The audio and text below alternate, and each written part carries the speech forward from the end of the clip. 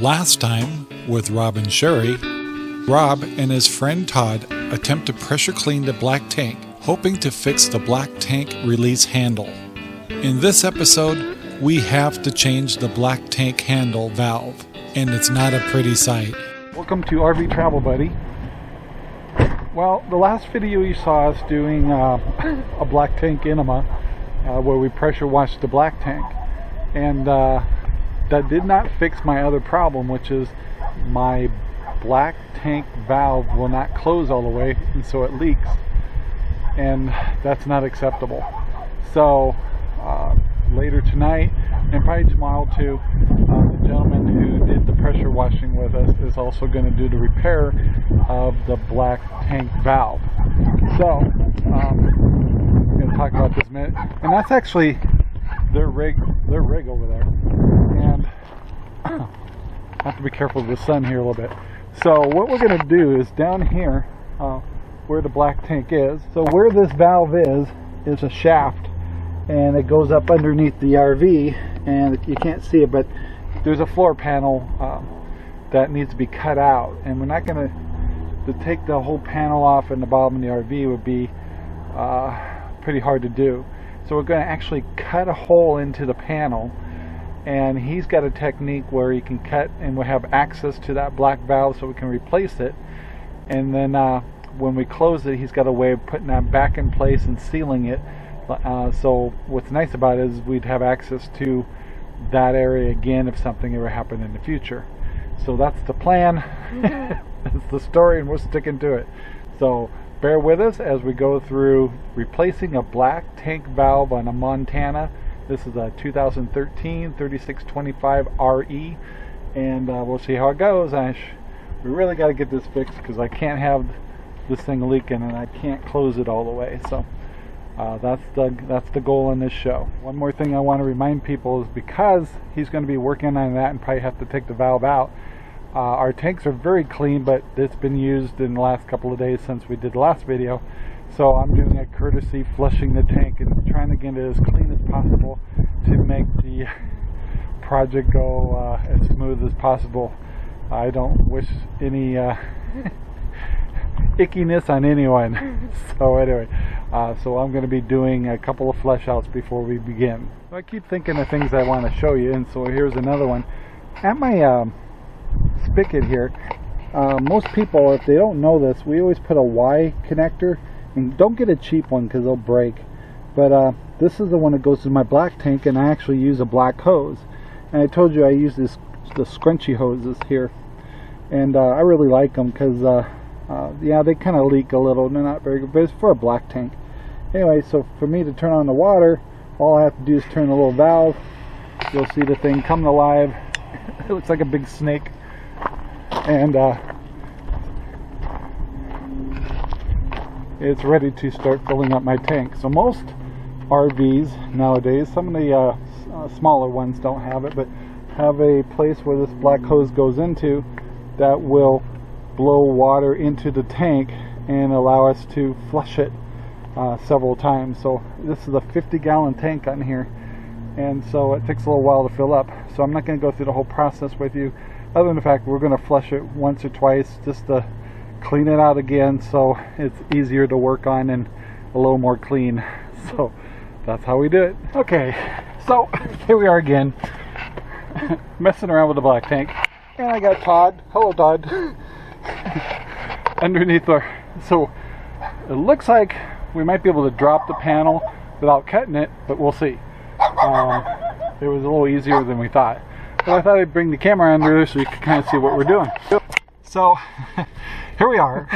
This is a a funny setup because our black tank I'll put a little light on it one goes to the black tank and that's why we had a hard time with the snake yesterday and another 90 degree goes to the gray tank. And the valve is right here and it's got a cable that pushes it in mechanical device um, that right there and so it's this valve here that we want to replace. And luckily, he actually has a three inch valve that'll fit that. So today, I made it my responsibility to flush this tank as much as we can and left it open. So we're praying Yeah. Yeah. when we break this open right here, that uh, it's you know not too juicy. Yeah, be prepared for a little bit of product still to come out. So that's a, that's the lower part of the black tank there, and it looks like we're a little bit above it, but um, maybe an inch, inch and a half. So This could be risque. yeah, it might be uh, get a little stinky under here. So Yeah, so that's what we're doing to get this black tank. Uh, it's the cable assembly looks okay, yeah. so it's most likely the valve's bad. So we're gonna go after it. Here we go. Okay, here we are. We actually dropped the whole panel, and uh, wasn't too bad. And it's, I always think if you have somebody doing this and you, they're friendly enough to let you watch, it's very educational, and uh, it gives you an idea to figure out how your RV works. Uh, now that he's opened it up, I'm actually more confused than ever because I've never seen so many darn wires. He says mostly it's sensors and stuff. But uh, yeah, so this is the baby we're working on right here. Trying to get that valve to work again because we cannot have a leaky tank. Bad news. So for our next step, as you saw that we found a tank and we were tapping on it and there's definitely liquid in it still.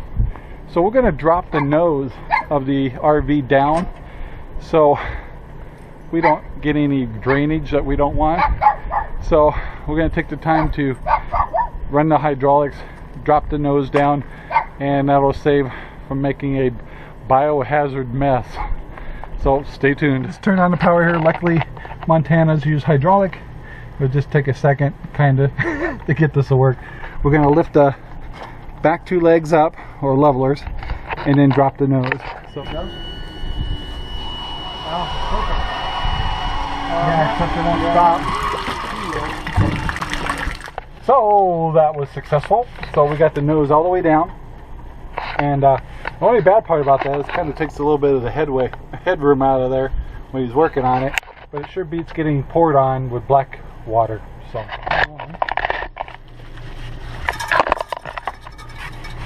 yeah, it's starting to loosen up. Oh yeah. It's gonna be a guster. Definitely uh, mostly water. Yeah. I, I did do about three flush. So at this point, we're wondering why we're getting so much water when I drained the tank. And it turns out we actually disconnected the wrong tank. This was the gray tank, and it still had gray water in it. So what you see spilling is gray water. That is the right tank, right? Uh-huh. That's the black tank Yeah. for sure. Cause that it's like gray water. Yeah, we were both kind of mystified of where all this water was coming from. And uh, we played with some levers and stuff. And eventually we figured out that the valve we wanted to change is on the other side of the RV. So we showed you earlier that it was two 90 degrees, one going to the black tank, one going to the gray tank. So we identified the wrong tank. But so we pulled it, and of course I didn't drain the gray tank, and it was semi-full. We were getting a lot of liquid and going. I think we're pulling the wrong valve, and that's what happened. But we have to pull both of them anyway because if you're going to release or pull back on those on that pipe, they're both attached because the two 90 degrees. One goes to the black tank, one goes to the gray tank, or vice versa. So we're actually pulling both valves. Um, and so we did get a lot of water in the ground, but luckily it was gray water. And so we shouldn't get anything out of the black tank. So live and learn. So we're over here on the other side of the rig, and Todd's under there loosening the black tank and lesson learned about how it's plumbed, but at the same time, uh, physically both of them would have had to be detached just to be able to maneuver the pipe. So, lesson learned. Can you get a shot of this? Yeah, That's stuck and that's why your black's not closing. See that? yeah. So if we clean that out, you can actually uh, go over and test your black tank. Yeah. we'll get that out of there. Looks like it's wedged down into the gasket. We may not have to replace it. Sweet. We got debris in the in the valve. I'll get Yeah, out just way. trying to get a shot. It's not a pretty thing. this but, uh, big chunk of whatever right here. What happens is it gets when it closes, if it's in the way at the time that you close the valve, it gets pushed down and wedged between these two rubber gaskets, and you actually have to dig it out. So uh, I'm going to do that in a minute, but Yep. We're not going to show that. so I got this, I got that out of there. uh huh. Here, I'll show you. You can actually see the top part of that white valve right here where my thumb's at. And that's the debris that was in there that got wedged in. I actually had to remove this rubber seal that was there. So I'm going to have Rob go ahead and go over and uh, close this valve. Um, if you want to walk over there, I'll show him how it how it closes and make sure it closes all the way. We shouldn't have a problem at this point.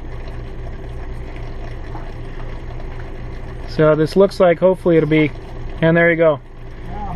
It closes all the way down, opens all the way up. So yeah, that's all it was. So we're gonna put it back together now. You can see the other side. We got a pretty good angle here without getting the camera wet. You can see it dripping on the other side there. That's uh, unfortunately how this is plumbed together, as Rob mentioned. You got two of the same. Um, you got the black and the gray tank that are kind of interlinked, of course, because it all goes to the same drain. So we're gonna go ahead and put it back together now. So I just want to remind everybody if you're having this done, especially if you're having a repair person do it, out of courtesy, Sherry and I tried our best to flush these tanks the best we could. And because we did, it actually hasn't been that bad as far as being messy. Um, of course, we had the gray tank drained, but that's gray water and it's not really considered biohazard. Anyway, so Todd has said over and over again how grateful he was for making this I mean, he's seen some real nightmares. So, if you're having this done or you're going to mess with your tanks, flush them, flush them, flush them, clean them out, do whatever you can. and It won't be perfect, but at least be courteous enough for people that are working on your rig to uh, work on it and let them focus on the parts and the fix and not the biohazard. So anyway, just a little note I wanted to pass on to people. Both uh, valves were put back together. All the seals look real good. Uh, we did some tests, make sure the levers are working. And Todd's underneath here. I'm going to hand him the camera. And I'll hold it steady this time. Yep, and he's going to show you. Okay, so you can see everything's back together, both sides, both valves. Sun's setting on us here. Got a little bit of wind.